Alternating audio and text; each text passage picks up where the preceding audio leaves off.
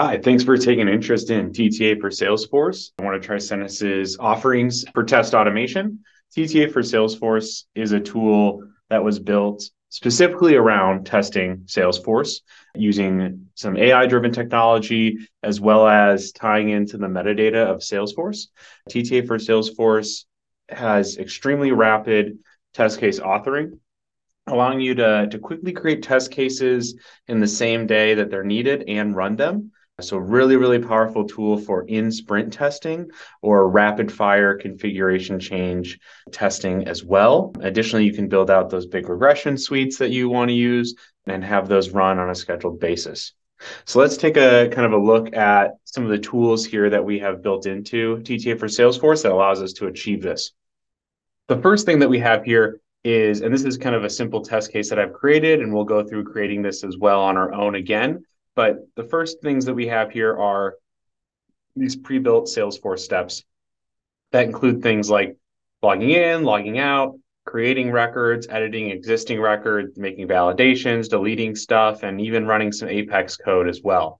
So these really allow you to rapidly create these test cases without doing any type of scanning or coding. The way these work is you connect TTA for Salesforce to your Salesforce instance, and TTA will read the metadata and generate these controls for you based on the configurations you have in your Salesforce account.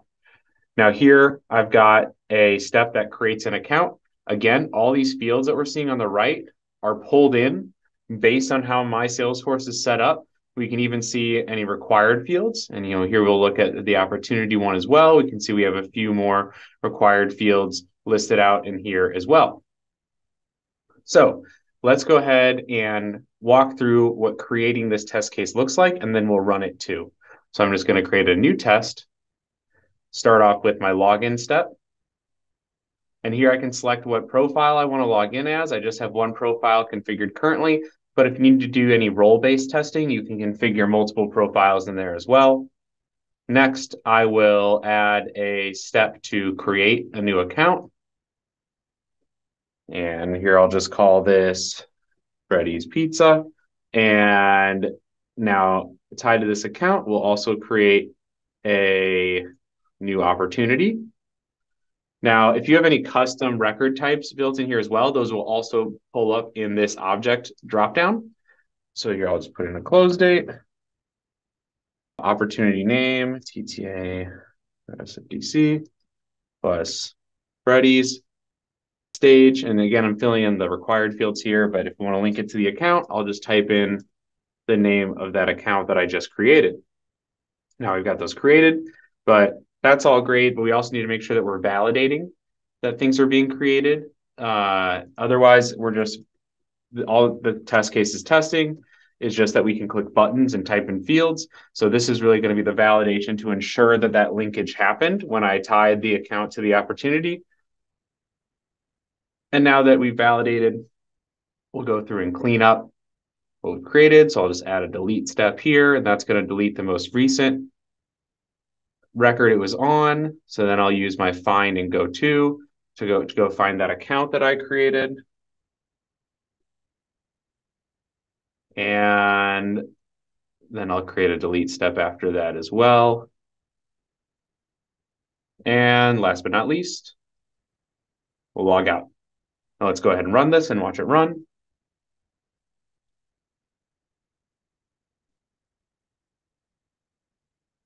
So here we have that auto login step happening.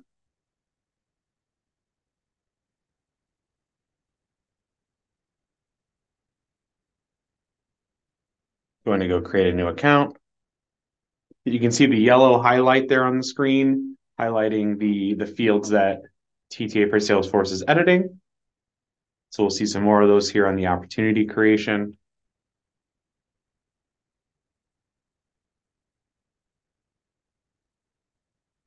And then now we're going to do the validation step. So instead of yellow fields, we'll see green fields appear on the screen to validate that that information is correct.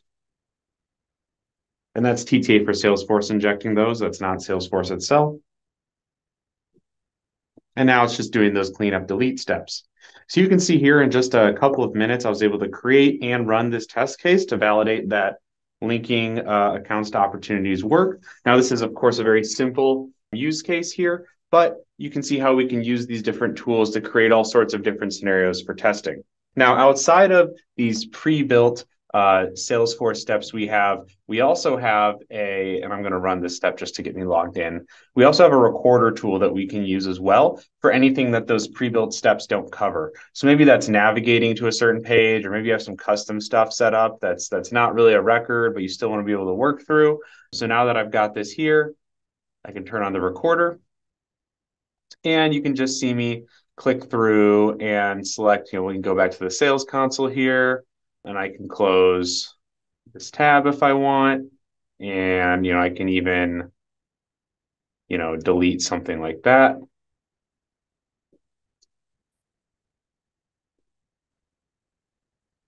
And then I'll stop the recording. And you can see here, it recorded all of these steps as I walk through, highlighting where we're clicking. Additionally, if I click into one of these steps, I can also see all of the technical elements that it's using to identify this. Now, the where the AI comes to play in on, on this is these technical elements that are being recorded and utilized.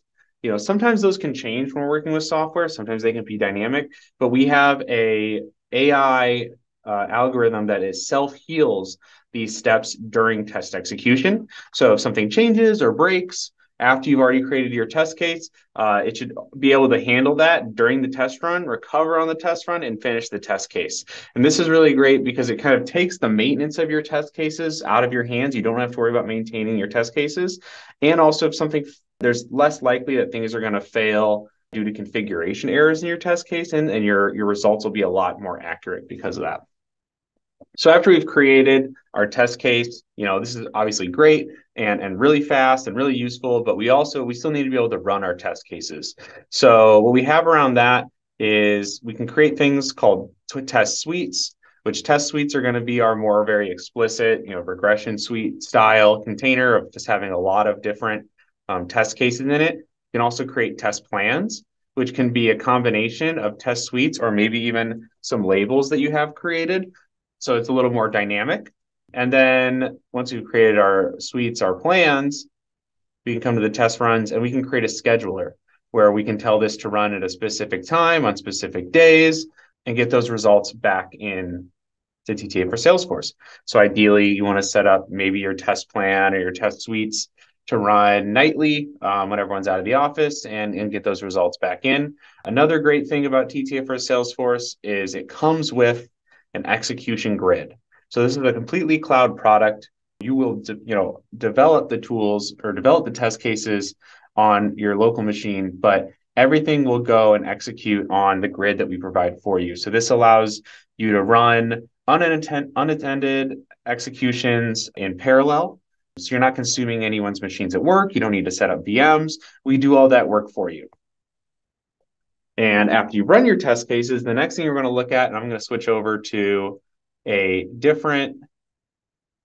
Oh, I need. I think I want to switch over. Uh, I think I'm in this one. A different project here where we can see what the executions dashboard looks like. So here we can see any failed executions that we had over the last few days and kind of the different statuses of some of these executions as well. And then in the reports section is where I can get a, a graph of our past test runs over time, as well as any that we have running recurringly. And I can expand that out. I don't know. Okay, looks like we've just been running recently. And then I can also flag my failures as different failure types and get reports on okay, are these failing because we have bad test data? Are these failing because we have, you know, the, the test cases themselves aren't running properly? Are these failing because the tools actually the flow isn't isn't working as as intended? So those are some of the highlights of the functionality that's built into TTA for Salesforce. There's many other features as well that that we can dive into at another time. But just wanted to give a really high level overview of, of how this tool can really speed up your Salesforce testing. And also since it's it's a no code solution, anyone who's working on your Salesforce implementations today can get involved, whether that be business users, admins, or uh, or just anyone on the team.